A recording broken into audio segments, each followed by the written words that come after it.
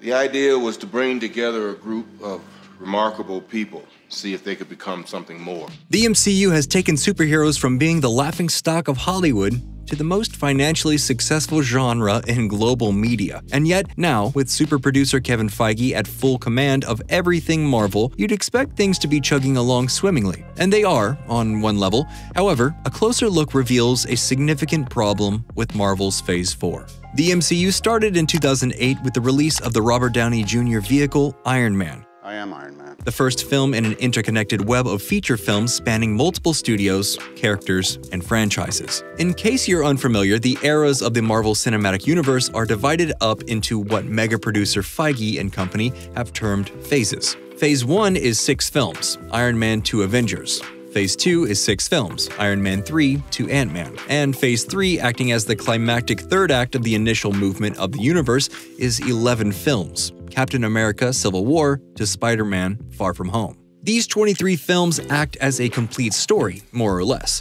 They have a beginning, a middle, and an end. Millions of people from across the globe have thrilled to the exploits and triumphs and failures of the iconic Marvel superheroes. All of these films lead up to the crescendo of the twin capstones to the story Avengers Infinity War and Avengers Endgame. These two films, directed by the Russo brothers, pulled in close to $5.5 billion. Wait, wait, wait, wait. I think you have 200 Dollars? rupees. Which is? Uh, and a half. They are an achievement in the craft and business of filmmaking that has never been paralleled. They were a definitive end to the story that was jump started all those years ago in 2008, and then You gotta move on. Marvel and the rest of the world had to move on. No, I don't think I will. Marvel's hotly anticipated Phase 4 promised new characters, new twists and turns in the ongoing plot, and even more excitement. And now, with a new element thrown into the mix, Kevin Feige would be overseeing TV projects for Phase 4, meaning not only would Phase 4 include numerous films, but it would also include eight TV show projects, each roughly 10 episodes in length. And here's where we get to the problem with Phase 4. Simply put, it's not learning the lessons it needs from the comics. It's overly convoluted, requires literal homework from the audience, and has major structural issues on a storytelling level. She recast Pietro? There's been a lot of chatter online about how certain people in the Marvel fandom are frustrated by the fact that there isn't enough forward movement happening on the core story of the MCU. They feel that the MCU is just treading water and has a pacing problem, compared to the breakneck speed that phases 1 and 2 had. On the overly convoluted front, the film side of things has become so linked to the TV side that there are massive story beats happening behind a paywall on an app that the general public may or may not have access to. I like your plan, except it sucks, so let me do the plan, and that way it might be really good. Sure, the first three phases of the MCU were a lot to keep straight, but it was 23 movies. It was a linear story. If you showed up to the theater, you got the narrative. Now, you have to juggle the feature films and the vital continuity in the TV shows. Does Doctor Strange 2 make any sense if you haven't seen WandaVision? Not really.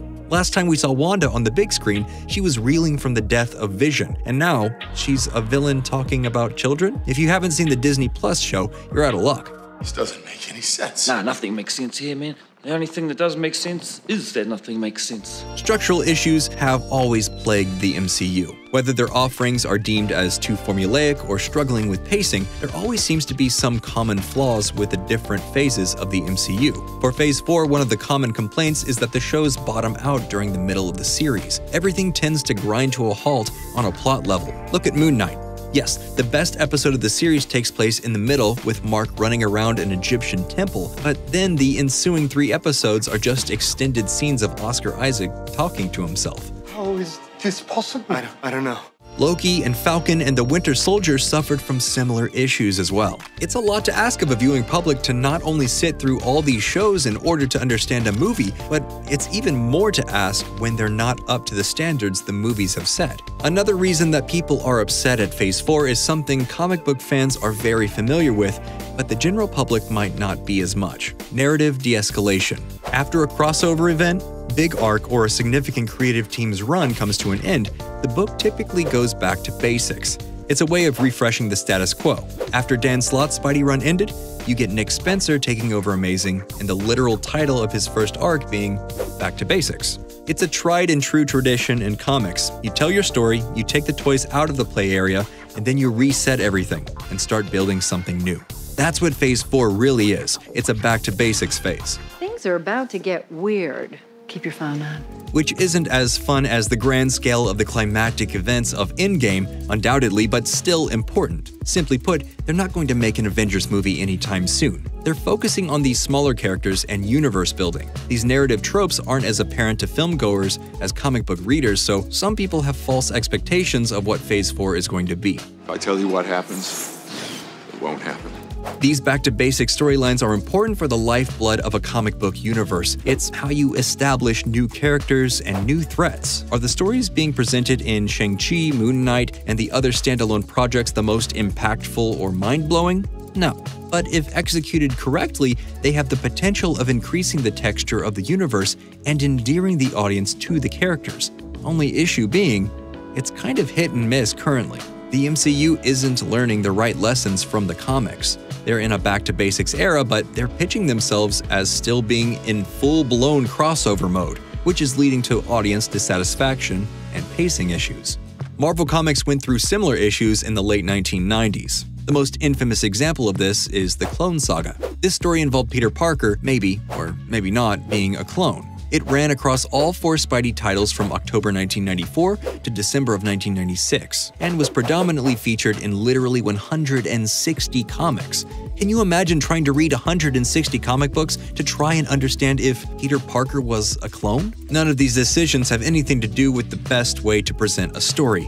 They're business choices, and because of that, they make story pacing really hard to make satisfying kinda sounds similar to how Disney is shoehorning all the MCU shows onto their new streaming platform and having pacing issues, doesn't it? We're trying to keep you from tearing the Avengers apart. And that's how you get some fans saying that Phase 4 feels disjointed and clunky, and that it's not going anywhere, even though it's obviously leading towards Secret Wars. Secret Wars by Jonathan Hickman and Esad Ribic, and loosely based on the original crossover by Jim Shooter and Mike Zeck, features multiversal drama on a Shakespearean scale. In the book, and in Hickman's Avengers run, the Illuminati uncover the fact that the multiverse is collapsing. Dimensions are colliding into each other, killing all of the inhabitants. Our heroes band together in order to stop these tragedies, referred to as incursions, only to fail. The multiverse collapses with only Doctor Doom able to save shards from different realities on a dimensional plane called Battle World. There, all of our heroes attempt to band together in order to defeat Doom and establish a world that doesn't have zombie Thanos running around. Secret Wars is arguably the best mainstream crossover of the past 30 years. The fact that Marvel is obviously building towards it means their eye is on the prize. All of the clumsiness and strange pacing of Phase 4 will be forgotten once we get to Secret Wars.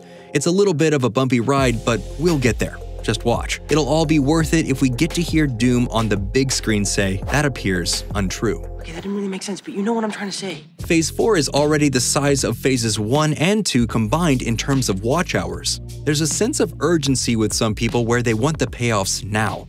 If anything, it's a testament to just how successful Infinity War and Endgame were. The payoffs and conclusions in that film were unlike anything else completed in mainstream cinema before. And because of that, there's a hunger to experience those feelings again. But what so many refuse to acknowledge is that setting up an ending takes time.